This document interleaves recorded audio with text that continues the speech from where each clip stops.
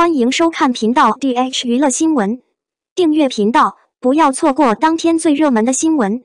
我们今天的时事通讯涵盖以下内容：若不是逆风翻盘，杨紫谁还记得你？娱乐圈渣子遍地，简直烂透了。前段时间的吴某凡和邓伦事件足以管中窥豹，但也不乏好明星。小编喜欢的女明星里，杨紫算一个；近几年最惨女星，杨紫也算一个。接连几次因合作的艺人受牵连，IP 大剧不是一拖再拖，延期上映就是删减禁播。也许是福祸相依，否极泰来，今年杨紫的好运就来了。近期杨紫、肖战的偶像甜剧《余生》，请多指教，一上映就爆了，热度居高不下。三月一十五日的首日播放量达到五点二五亿，创下一十四天二十三亿播放量神话，霸占了多个平台的热度榜、话题榜。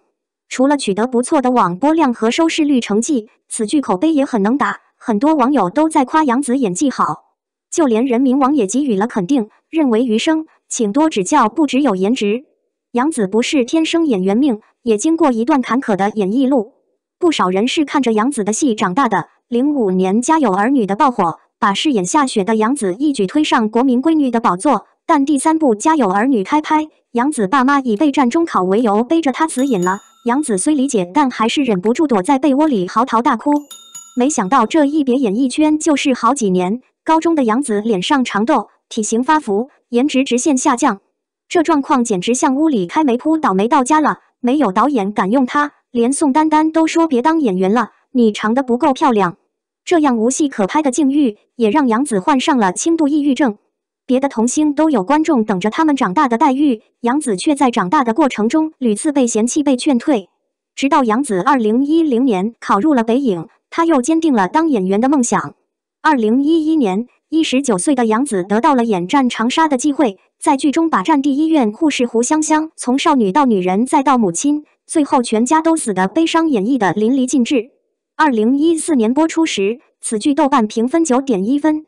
一十六年主演的《欢乐颂》播出，杨紫演的爱哭包邱莹莹给大众留下深刻印象，演技也获得了认可，更凭借《欢乐颂》提名了玉兰奖最佳女配角奖。随后，杨紫可谓是一路开挂，香蜜沉沉烬如霜，亲爱的、热爱的，步步爆款，也让杨紫成为最具商业价值的女明星之一，顺利跻身一线女星阵列。这不就是纯纯的靠演技打出翻身仗的好演员吗？这样优秀的女演员，难道不能成为榜样吗？平凡家庭出身却能逆天改命，坚持做演员的梦想，在满是嘲讽的声音中走出自己的道路。单看杨紫爱梦想的样子，我觉得她是闪着光的。比杨紫运气还差一点的是赵丽颖，长达八年的跑龙套岁月，才让人们记住演技与美貌并存的颖宝。这正印证了一句话：人生没有白走的路，每走一步都算数。杨紫和赵丽颖都算励志女星了，用自身经历告诉大家，平凡人也是能逆袭翻盘的。有梦想就去追寻，莫等闲，空悲切。零二，杨紫演什么都像邱莹莹，现代装造型确实形似。看很多人说杨紫演啥都像邱莹莹，那种咋咋呼呼、可爱类型，哭戏比较有共情能力。战长沙抗日版邱莹莹，香蜜沉沉烬如霜仙侠版邱莹莹，亲爱的热爱的校园版邱莹莹，女心理师职场版邱莹莹，余生请多指教医疗版邱莹莹。这个有点夸张，只能说杨紫这个类型演得比较好，让观众更加记住这些情绪或者高光片段，看多了觉得重复。但是近几年杨紫演的现代剧确实都是短发齐刘海，造型妆容也没有特别大的区分度，光看剧照的话，感受不到人物性格，观众能轻松分出这些角色吗？不知道为啥，明明杨紫长发也挺好看，好像现在除了古装，很少看见杨紫的现代长发造型。这样校园美女不香吗？还有杨紫的民国装扮也挺好看的。当初在《灵魂摆渡》里做单元剧情的女主角，合作马可，那时很惊艳。民国造型很适应杨紫的。希望优秀的小伙伴们能在评论区说出你的看法，给小编一个改进不足的机会。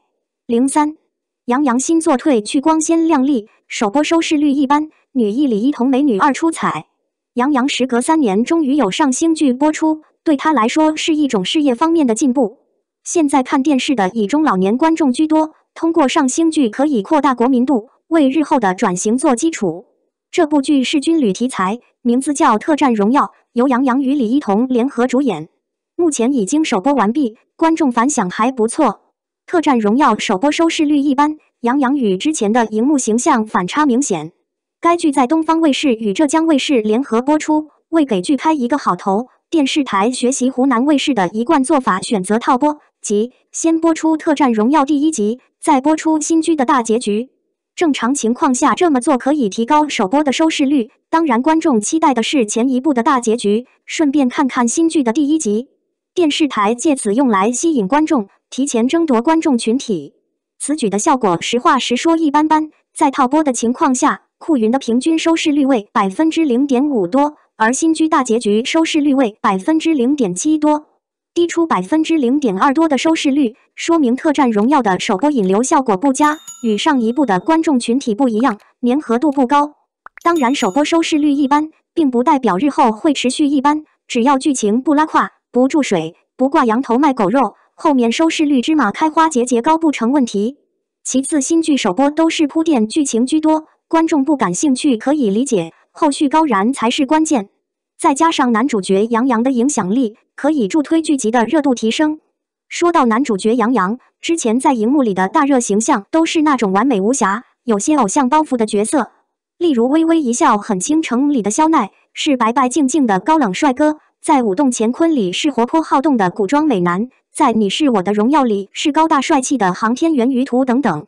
转眼到这部剧，杨洋已经甩去拍戏的偶像包袱，变得接地气起来。脸部没有涂脂抹粉，留起硬朗的寸头，皮肤也变得黝黑。这样的杨洋看着男人味十足。当然，最重要的是贴合自己所饰演的军人角色燕破月，观众看着会代入感十足，忘记杨洋光鲜亮丽的一面，认为他就是燕破月。杨洋之前就在军艺就读，身上本来就有军人气质，身姿挺拔就是他的直接表现。再加上上述的形象加持，杨洋的军人表现力真的可圈可点。这种荧幕形象的反差，证明杨洋正在自我蜕变，已经达到而立之年，应该对自己有所突破。因为光鲜亮丽只是一段时间，想要在演员的道路上大放异彩，需要实实在在的业务能力，还要有豁得出去的精神。女主角李一桐人设不出彩，比不上女二号的英姿飒爽。与杨洋搭档的女演员是李一桐。素有“体寒女演员”之称，顾名思义，就是戏没少演，就是红不起来。这次在《特战荣耀》里饰演艾千雪，是某边防团中最年轻的电子信息通讯工程师，心智单纯，外柔内刚，善良包容的人。从首播看，这个角色对李一桐的加持不大，属于军旅剧中的白月光，主要作用是散发部队女兵的真善美，没有特别燃、特别英姿飒爽的一面。换句话说，角色有点像温开水。提不起观众的兴趣，但是是女一号，所以戏份很多，尤其与男主角杨洋之间起到调和剧情的作用。正所谓戏份不够，爱情来凑，就是这个道理。其次，军旅剧没有女演员也不科学，要达到阴阳平衡。女主角李一桐的设定不出彩，女二号的设定倒是很高能，是由蒋璐霞饰演的郭笑笑，是一名拥有高超技能的狙击手，更是一名巾帼不让须眉的强兵。进入军营后，就是燕破越位最大的对手。这个角色最大的特色是英姿飒爽，符合军旅剧热血的风格。有很多高燃的戏份，也有很多的动作戏。而且军旅剧里女演员展现英姿飒爽，往往会赢得观众的好感。正所谓谁说女子不如男？看惯了男性展现阳刚的一面，对女性的阳刚会充满新鲜感。这样一来，李一桐文文弱弱的一面就稍微逊色一些。蒋璐霞的英姿飒爽显着格外的吸睛，尤其在男性观众群里当中，可以说李一桐这次选错角色，人设与军旅剧的高燃属性不太相符。我们的新闻部分文此结束，欢迎把你们的想法留在评论区，大家一起讨论一下。欢迎，也别忘了帮我点个赞加关注哦，谢谢大家。